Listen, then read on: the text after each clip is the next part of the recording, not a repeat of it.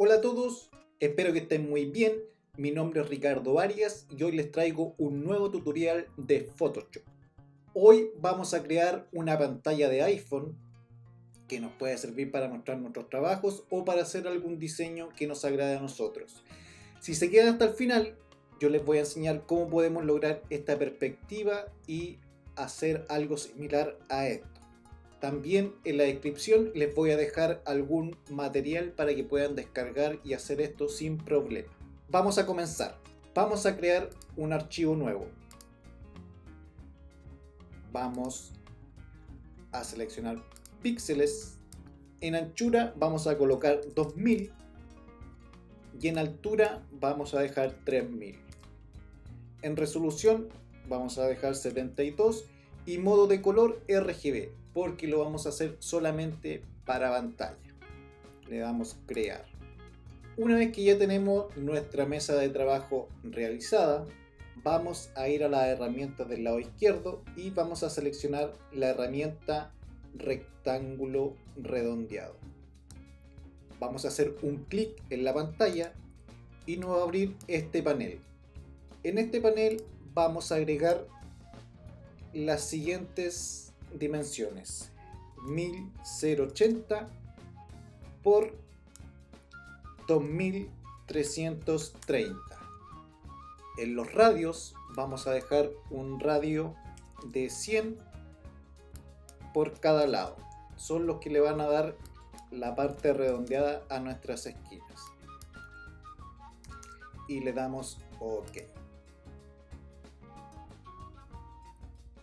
Ahora vamos a realizar una nueva figura que nos va a ayudar a recortar más adelante esta forma que acabamos de realizar.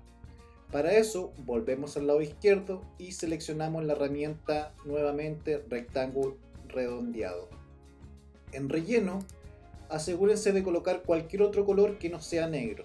En este caso yo voy a colocar un verde, le voy a dar enter y voy a volver a hacer un clic en la pantalla nos vuelve a aparecer este panel donde en anchura vamos a colocar una anchura de 590 por una altura de 150. Ahora también vamos a modificar los radios. En vez de 100 le vamos a colocar 40 por lado. Vamos colocando 40 en cada esquina. Una vez terminado esto le damos OK. Ahora, para asegurarnos que los dos elementos estén centrados con nuestra mesa de trabajo, yo voy a seleccionar estas dos capas más la capa de fondo para poder utilizar la herramienta de alineamiento. Para eso, con Shift selecciono la primera capa, selecciono la segunda y selecciono la tercera. Aquí arribita de nuestro programa nos van a aparecer este panel de opciones, la cual yo voy a apretar centrar horizontal y ya me aseguro que mis dos elementos están centrados con la mesa de trabajo. Una vez que tengo los dos elementos centrados con mi mesa de trabajo, me voy a dirigir al sector de capas. Y aquí, utilizando el botón del teclado Control, voy a posicionarme en esta parte de mi capa y voy a hacer un clic.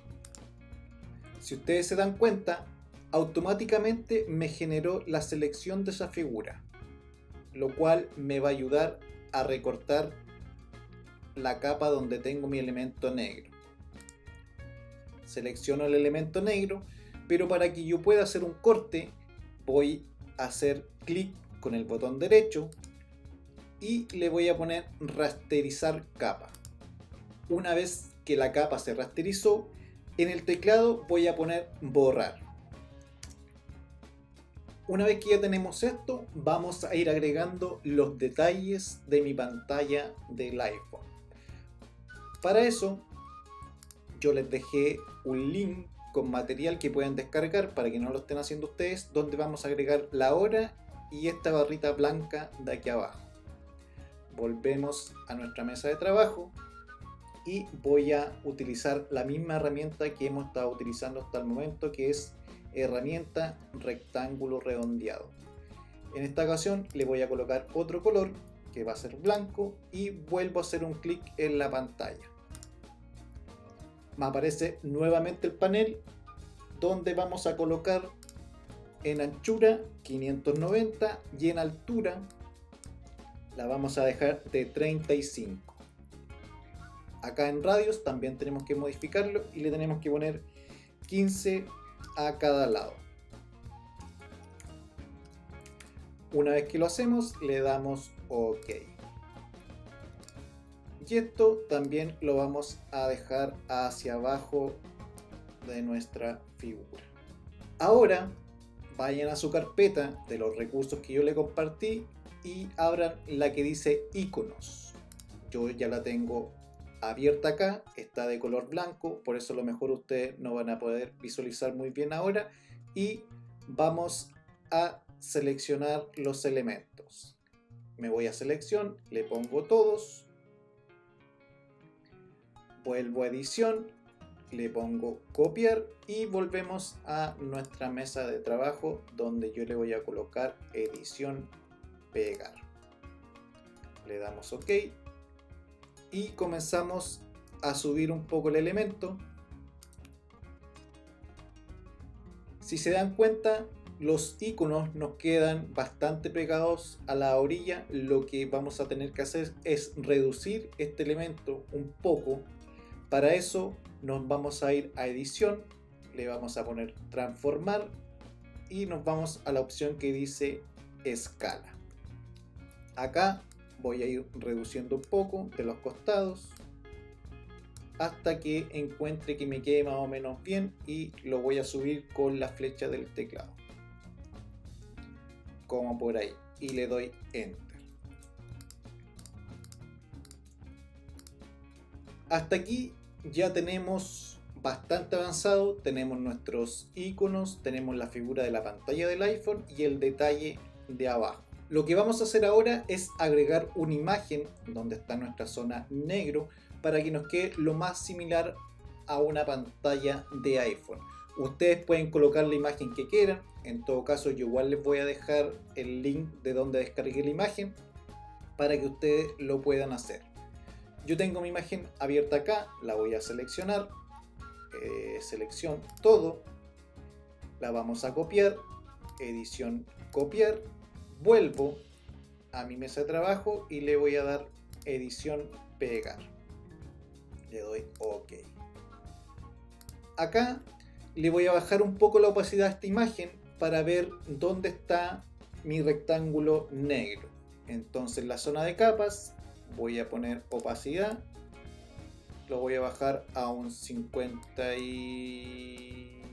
un 50% aproximadamente y voy viendo dónde quiero agregar mi imagen. Por ejemplo, en esa zona. Una vez que lo tengo ahí, voy a volver a darle el 100% de opacidad. Voy a tomar esta capa y la voy a cambiar hacia arriba de la capa donde tengo mi rectángulo negro. Aquí ustedes en el teclado deben apretar Alt y se dirigen hacia la mitad de las dos capas hasta que les salga ese icono. Si les sale ese icono, al momento de hacer clic va a tomar la forma de la figura de abajo. Voy a hacer un clic y automáticamente tomó la forma de mi elemento de abajo. Hasta aquí ya hemos realizado nuestra pantalla para iPhone a continuación yo les voy a mostrar cómo hice la perspectiva para mostrarle a ustedes la figura del inicio de esta forma. Para lograr la perspectiva que yo les mostré de mi portada, lo que tengo que hacer es juntar todos estos elementos para traspasarlo a una nueva mesa de trabajo. Para eso voy a seleccionar la primera donde tengo mi rectángulo negro voy a apretar Shift en mi teclado y voy a hacer clic en la capa número 1 para que me seleccione todas estas capas. Una vez que están todas seleccionadas, yo me voy a la opción de capas y le voy a poner combinar capas. Ahora le vamos a dar la perspectiva. Vamos a crear un nuevo archivo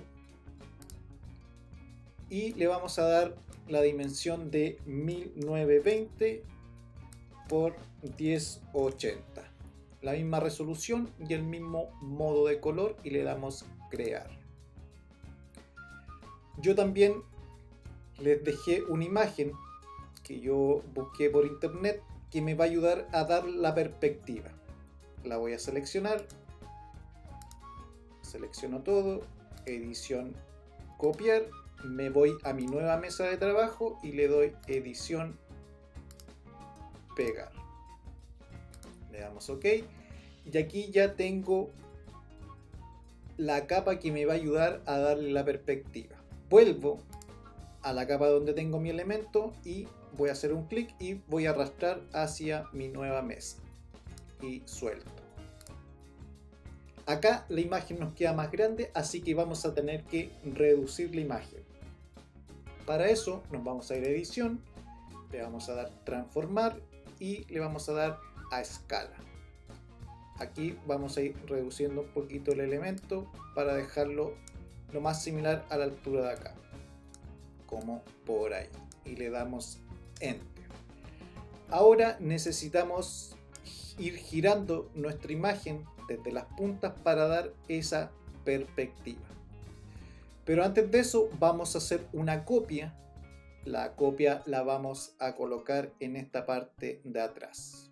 Entonces a mi capa número 2 yo voy a apretar control más la letra J lo cual me va a crear una capa idéntica a la de abajo. Nos vamos a ir con la que acabamos de hacer, la vamos a dejar aquí al ladito porque luego la vamos a ocupar para este lado de acá vamos a tomar nuestra capa número 2 para darle esta forma de perspectiva. La seleccionamos, nos vamos a edición, le ponemos transformar y le ponemos distorsionar. Vamos a tomar una de las puntas y vamos a ir ajustándonos a la capa de abajo. Lo más parecido posible con cuidado que nos quede lo más parecido posible. Una vez que logramos y nos gusta la perspectiva, le vamos a dar Enter. Vamos a ir a la capa número 2 y vamos a hacer el mismo proceso para dejarla en la parte de atrás. Nos vamos a edición, transformar, distorsionar y vamos tomando las puntas y hacemos el mismo proceso.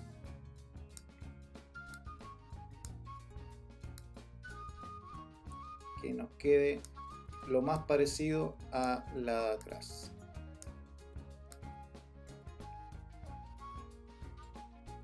Como por ahí y le damos Enter. Una vez que ya le dimos la perspectiva a nuestras dos imágenes, vamos a eliminar la imagen que nos ayudó a crear la perspectiva. Nos vamos a la capa número 1 y le damos eliminar en el tarrito de basura. Acá, si se dan cuenta, la capa que está acá nos quedó sobre esta. Entonces nosotros volvemos a las capas y la vamos a bajar para que nos quede atrás. A esta capa de atrás le vamos a dar un pequeño desenfoque para que se parezca a la portada que les hice al inicio. Seleccionamos la capa, nos vamos a filtro, buscamos la opción desenfocar y nos vamos a la opción que dice desenfoque gaussiano. Acá nos sale este panel, le ponemos previsualizar para ver cómo va a quedar y acá acomodamos a gusto de cada uno. Voy a dejar dos píxeles y le voy a dar OK. Acá ya tenemos lista nuestra perspectiva de la imagen. Para que nos quede un poquito más real, le podemos dar una sombra aquí abajo a los dos elementos. Para eso, voy a seleccionar mi herramienta de marco elíptico y voy a hacer la siguiente forma. Por ahí. Voy a crear una nueva capa. Me dirijo hacia el panel de la izquierda de herramientas. Selecciono el color negro. Luego la herramienta de bote de pintura y le voy a hacer un clic. Deselecciono mi elemento, edición de seleccionar y aquí voy acomodando donde quiero mi sombra, por ejemplo por ahí, a la cual le vamos a dar la sombra a esta de atrás. Entonces, esta capa de sombra la voy a colocar hacia abajo para que me quede bajo la imagen.